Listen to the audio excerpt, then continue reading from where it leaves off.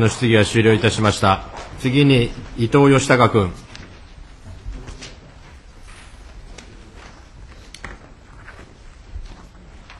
伊藤君。えー自由民主党の伊藤義孝でございます。えー私はあの今年の冬、まあ、大変なあの大雪でありまして、まあ、日本海側から北海道に至るまで、まあ、大変な降雪量をもたらしたところでありました。今日もまた北の方では大荒れだとこういう話であります。えー政府もあの除雪対策をはじめ、まあ、ところによりましては、まあ、自衛隊の出動も含めた豪雪災害とこう位置づけておりまして、えー民間の皆さんはその大雪の中、まあ、雪下ろしの最中の転落事故、あるいは除雪中のの崩落事故、さらに様々な形の交通事故など、まあ、大変犠牲者の数も多いわけであります。あのまずお伺いしますが、私あの、北海道の事例は分かっているんですが、全国の事例がちょっとつかめておりません。国内で何件、何名の事故、あるいは犠牲者が出て、えーおったのかお伺いするところであります。長谷川大臣官房審議官。お答えいたします。えっと、今冬の大雪によりますあの人の被害ということだと思いますけれども、えっと、人的な被害につきましては、あの消防庁ので東京都っていうのは3月1日まで把握しているところで、死者が115名、え重軽重症者が754名、軽症者が999名となっております。えっと、原因もだったでしょうか。えっと、原因につきましては、あの今冬にあのお亡くなりになった方につきまして分析をしておりますけれども、えこれを見ますと、え屋根の雪下ろしなどの除雪作業中にお亡くなりになった方が84名、え落雪等による死者が23名、え雪崩によってお亡くなりになった方が4名、でその他4名などとなってございます。伊藤君。まあ、あの今年はあ例年にない本当に多くの雪による、まあ、事故がありました、まあ、今あお聞きしたように115名の方々が亡くなっております。えーこの中で、まあ、北海道の場合、例に取らせていただきたいんでありますけれども、豪雪が原因で発生した建物のおいわゆる崩落、倒壊、こうした被害が、これはあの2月25日現在でありますけれども、昨シーズンの2.4倍に及ぶ、まあ、31棟を数えました。これはあの原因よく言われるんですけども、古くなったところに雪が積もってただあその潰れるのではなくて、えー結局屋根おろ屋根からの雪下ろしもない、あるいは中に暖房をこう通してないものでありますから、まあ、そのままあの全く溶けずに積もっていく、えー固まっていく、重量が増すということであります。この中の31棟中、実は半数以上があの岩見沢とか美唄とかと呼ばれる北海道の米作地帯でありまして、まあ、大変なあの雪の多い地方でありますけれども、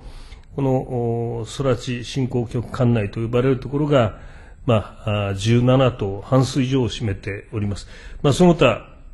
北海道各地で、えーそれぞれえー9棟、あるいはその2棟、1棟、さまざまな被害が生じております。まあ、全国集計で、この豪雪が原因による建物の倒壊、崩落というのは何棟になっているかお伺いするところでございます。長谷川内閣府大臣官房審議官。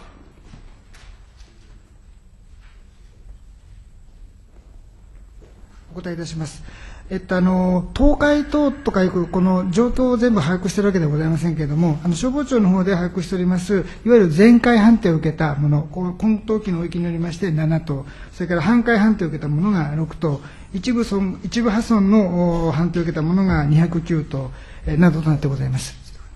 伊藤君。あの全国集計があ全壊7棟、半壊6棟っていうのはちょっと少ないようですね、北海道だけでもこれ、あの相当数に上っているわけであります。あのもう少し正確なこうした数字を捉えた方がよろしいのではないか。私どもあの新聞等々でもその集計を見るわけでありますし、その写真もしょっちゅうこう掲載されているわけでありますけれども、もう映画館から倉庫から一般住宅の果てまで、えー、大雪による倒壊が起きているわけであります。で問題なのは、今、その空き家が倒壊の危機にあるわけであります。で空き家の出現というのは大変に多いもので、えー、ありまして、えー、近年、やっぱり過疎化が進む、あるいは人口減少の中で、空き家もできてきているわけでもございます。また一方、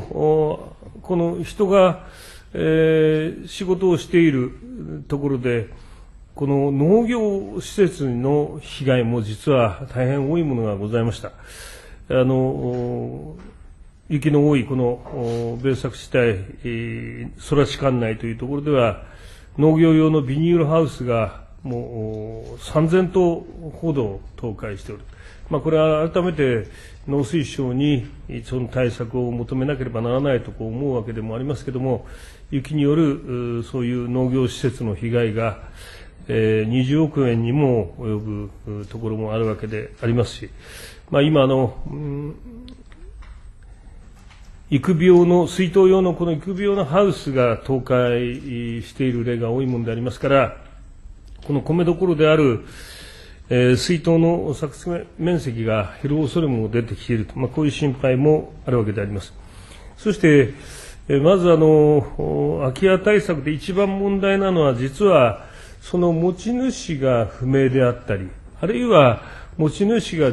雪下ろしや、あるいは適切な管理をする、力、能力がない場合がしばしばあるわけであります。まあ、一例申し上げますと、2月の17日の深夜に、この美唄市の3年前まで営業していた元映画館でありますから、比較的町の真ん中近くでありますが、ここが雪の重みで全壊をいたしました。で、大きな映画館が潰れるということになりますと、近隣の商店街にも大変なあの被害が及ぶわけであります。隣のうちの人も、もう自分のうちの玄関先までその倒壊した映画館が雪に押しつぶれて迫ってきたということでありました。この映画館の屋根の一部が実は雪の重みで崩れ始めたのが1月の27日であります。で、潰れたのは2月の17日でありますから、これは20日間経っているわけであります。この一部が崩れ始めたときに、この美唄市は、まあ、市内に在住しております、この映画館の所有者に、まあ、撤去を要請したのでありますけれども、この解体撤去費用が1000万円もかかるということから、まあ、所有者がその検討を実はしていたところ、えー、3週間経って崩落してしまった。まあ、こういうことに実はなるわけでありました。えー、またあの、この2月の15日に、中心部で全壊した空き店舗がございまして、これは建物の所有者はすでに死亡して、まあ、親族が相続を放棄していたその空き家が全壊してしまったということでもあります。この倒壊後、地主が市に撤去を求める事態になっているのでありますが、まあ、この倒壊した空き家も所有者が死亡し、市が家族に撤去を求めている、こういった例もまた一方であり、えー、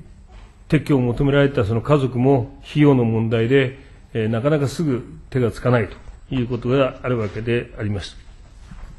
さて、こうしたことが相次いで起きてまいりますと、これ、市も大変に困るものでありまして、えー、今年の1月、秋田県の大仙市で、えー、大政や行政代執行による撤去もできる、この空き家条例が施行されました。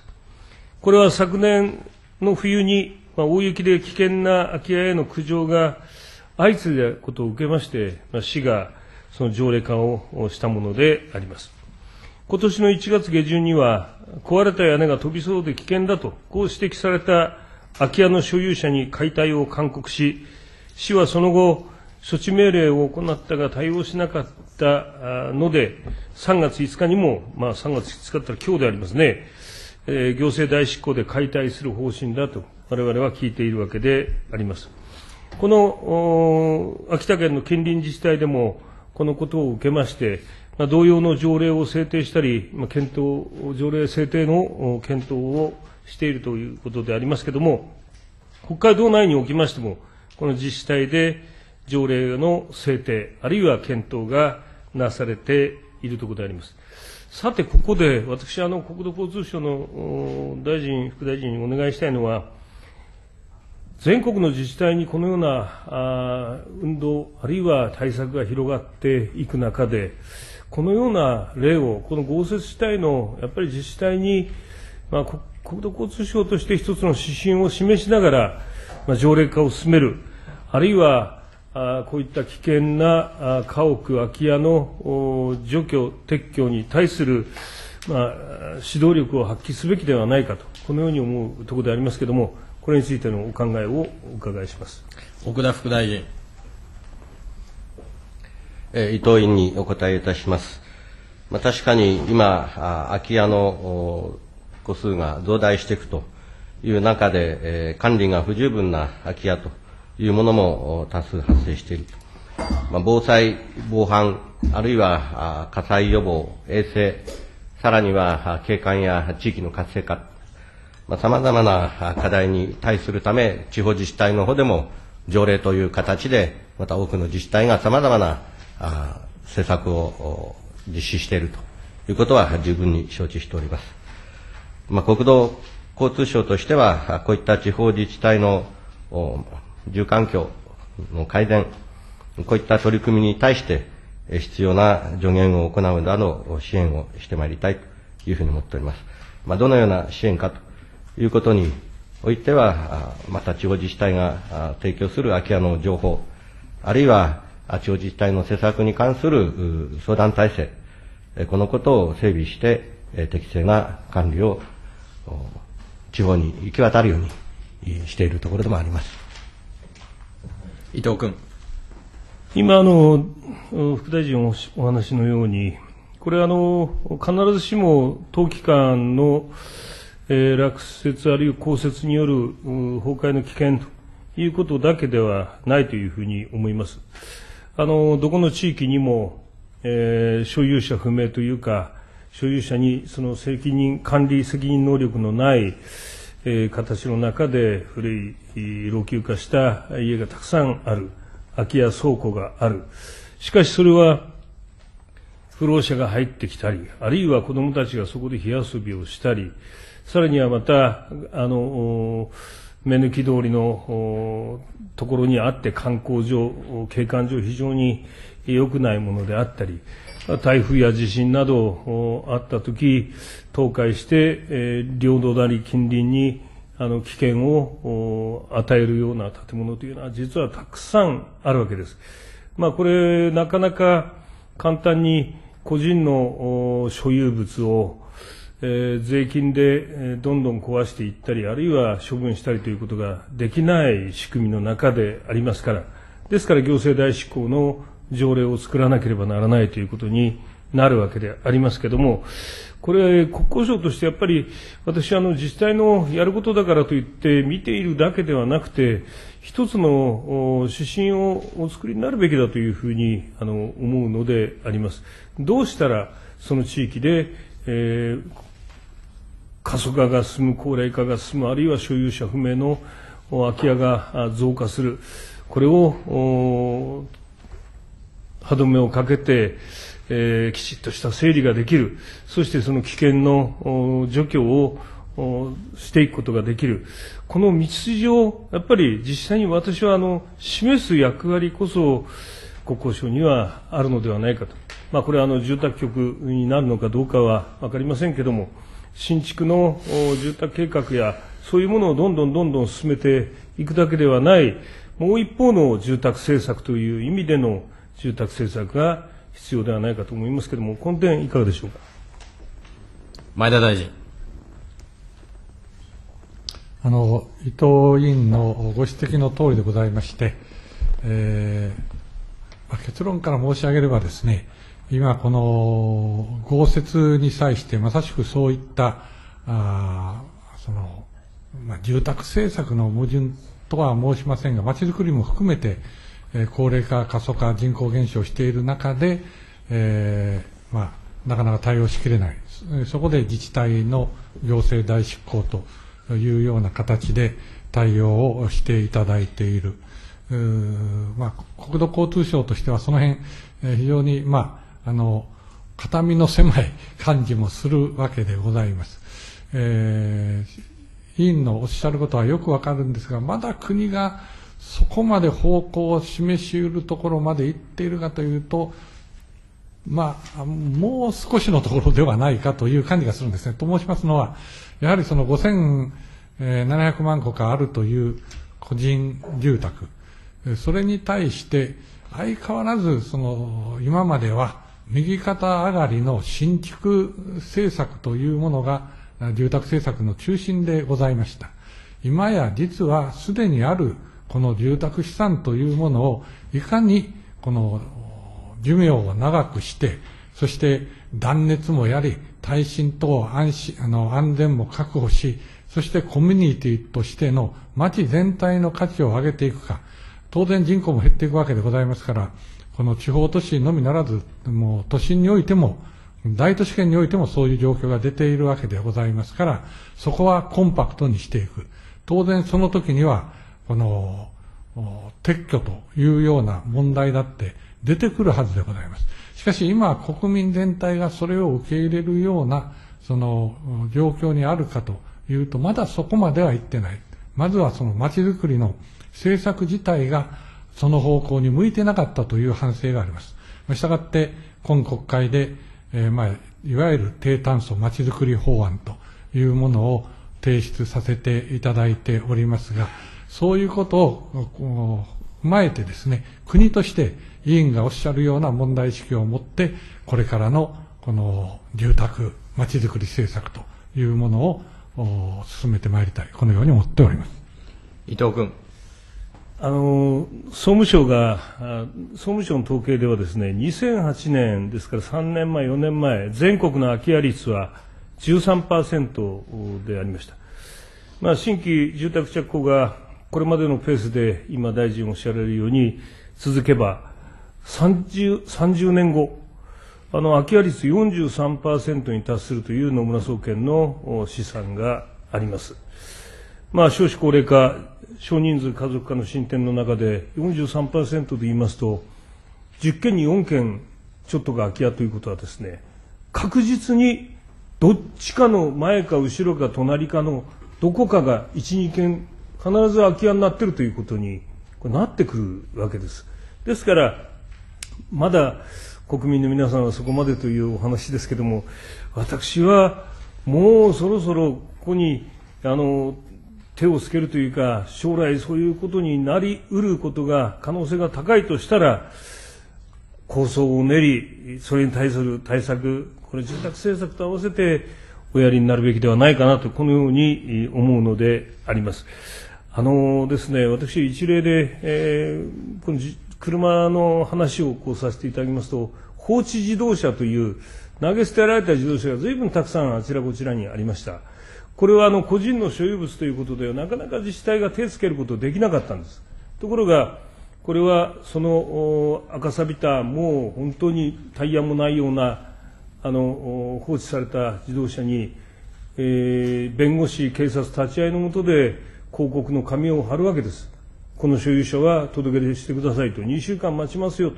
言って、えー、来ない場合には、それをもう裁判所に申し立てて撤去していくということが堂々とできるように、あの新しいシステムが車の場合できるようになりました。家の場合、なかなかできないんです。ですから、まあ、これについて、そのお話のように、これ所有者があって個人財産であるということが一つの前提になってきますので、えー、まあ、所有者不明その他の場合、何らかの形の中で、これを自治体が処分して、その処分した費用の中から、この撤去費用を支出することができるような仕組みも必要だろうなとこう思いますし、あるいはその不明者の場合も、土地の収容、売却、あるいは除去除却の費用等の捻出方法を含めて、もう自治体がそういう一定の権限を持たなければ、もうこれ、本当にあっという間に20%、30%、3件に1件があの空き家になって、いつも崩落の危険、火災の危険、地震、ね、その他での台風での倒壊の危険、こういうものと隣近所の人がいつも隣り合わせでなければならんということになるわけでありますので、まあ、ぜひあの具体的な方策などを自治体の意見聞きながらあのお進めいただきたいと思います前田大臣。えー、全くあの問題意識、危機感、同じでございまして、まあ、実はあの国土交通省の中にですね、えー、持続可能なまちづくり研究会というのを発足させていただいておりまして、まさしく委員のおっしゃるようなことを古語に、あの、モデル的にどういうような対応が可能か、それをまちづくりにどう、あの、反映させていくかというようなことを、今、研究をしております。えー、さらに申し上げればですね、この、まあ、要するに今持っている持ち家そのものが二つの問題あります。一つは、この寿命が平均するとあまりにも短すぎる。平均25年。25年経つと産業廃棄物になるわけですよ、おっしゃるように。もう一つは、このマイホームというものが流通しませんもんですからそういうことになる。いい、あの、住宅であって、ちゃんと手入れをしておればですね、住まなくとも、その、課せるわけですよね。定期借家権というのも導入しているわけです。しかし日本においてそういうふうなマイホームの流通というものもありません。要するに既存の中古住宅の流通がありません。だからこの流通市場というのを整備していくというのも非常に大きな課題として、えー、今、その研究、あるいは、あの、すでに、あの、不動産特定共同事業法というものも改正を提出させていただいておりますが、この法案、あの、法改正というのもそちらの方向に向かって、多少は、あの、動きうる、活用しうる手段でありまして、まあ、要するに、この5000万戸以上ある既存の住宅というものの、この長寿命化とレベルアップ、そうすると、実は日本の住宅資産というものは、この今の現在価値、大体2230兆円ぐらいだそうですね。それを900兆円まで、この今のマイホームの資産価値というのを上げ売るということをリチャード・クーさんなんかが試算をしているんですね。そういったことも、あの、まあ、頭に入れながら、えー、この政策を展開したいと思います。しかし、なんといっても、この住宅、この個人にとっては、まさしくその先祖伝来の人生のこのまあ、城でありますし、えー、個人の所有権というものがあるもんですから、あまり、あの、手荒な、あこの早急なことはできません。やはり国民の意識というものとともに、まあ、なんとか先導的にモデルを提示していきたいなと、こう思っております。伊藤君。あの、ぜひよろしくお願いします。それではもう一つ、私、あの、LED 街路灯について、設置について、これをぜひお勧めいただきたいという思いであります。まあ、ご案内の通り LED、えー、大変にあの進化してきておりまして、えー、その明るさも、光量も明るくなってきております。これはあの単位がパーワット、ルーメンパーワットでありますから、1ワットあたり何ルーメンかというのがあるんですが、つい2、3年前まで50ルーメンの1ワット、パーワットでありましたけれども、最近100、あるいは120、30、理論上はもう200、250、の明るさが1個のあの発光ダイオードから出るようになってきております。で私あの、この中で特にあの注目をしているのでありますけれども、4、5年前から、えー、街路灯がありますけれども、まあ、街路灯の光源部分を、えー、電球水銀灯、あるいは蛍光灯から LED に変えるのが、ここ4、5年、えー、増加してきております。でその中にえー日本ではまだ少なかったんでありますけれども、えーその高原のその上にソーラーパネルがついておりまして、日中充電をして、えーポールの中にあるバッテリーにその電気を蓄え、夜になると、暗くなると自動的に発光する。明るくなると止まるというですね、消えるという、まあそういう街路灯が随分、今から4、5年ぐらい前から、まあ日本もそうですし、中国、台湾でも、たくさんこれができてきているわけであります。私はあの、日本の国の電気の約20%から30%は、この照明によって使われているという話を聞く中で、さらなる省エネを進めるために、私はこの LED 型の特に、ソーラー街路灯、これをあの普及させるべきだと自分自身も長年ずっと思ってきたところでもあります。これが公園や、まあもちろん道路はもちろんでありますけれども、公園、港湾、河川敷、あるいは峠とか、本当にあの、電気工事しづらいようなところにでも、単にこれは設置すると、もう電気量はいらないで、まあ、半永久的にこれが動くということになるわけでありまして、まあ、国家的にも、あるいは国道、その他を管理する国土交通省にしても、えー大変なあのこれは省エネになるのではないかという思いがいたします。まあ、時間ありませんので、詳しいことは言いませんけれども、相当なあの電気料金の私は削減にもなるし、あるいはあ場合によってはそのお配電ということがないものでありますから、えー工事費の削減にもなる、こうしたものを国として、国交省として少なくとも公的施設、あるいは公的、えーその公安、公園をはじめとする、そういったところに、これを増やすようなお考えはないかどうかお聞きします。前田大臣。えー委員長ご指摘のこのちょっと見せていただいてて、なるほどなと思ってたわけなんですが、あの調べてみますとですね、23年度の第三次補正予算において、え直轄国道において、この LED 照明に9000とあのその中で予算付けしてやっているようでございます。えさらにあのその他の公共施設の方にこれをもっともっと広げろというご指摘でございますから、まあ、もちろんあのいいろいろのその施設における、まあ、条件というものがあるでしょうから、その辺はあーちゃんとコストをはじめ、えーこの検討は進めますが、あー方向はその方向に持っていきたいなと思います。伊藤君。あの LED に変えただけでも電気料金相当4分の1くらいに落ちる。で、さらにそれは寿命があの10倍ぐらい伸びるわけですから、これは大変に効果があるんです。ただそれにさらにソーラーパネルをくっつけることによって、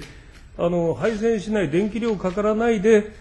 あの屋外のおそうした照明、えー施設を維持することができる。これはあの私は本当に十二分に考えうる話だし、日本国中のあの自治体と国がこれをお取り進めれば、私はあのお国家的な省エネ対策としては、まあ、凄まじい効果を上げるのではないかと、こう思うものでありますから、ぜひお勧めいただきたいなと、こう思います。前田大臣。賛成でございます。低炭素循環型社会を目指すと、こう言っておりますので。伊藤君。はい、時間ですので、ありがとうございました。これにて伊藤義孝君の質疑は終了いたしました。次に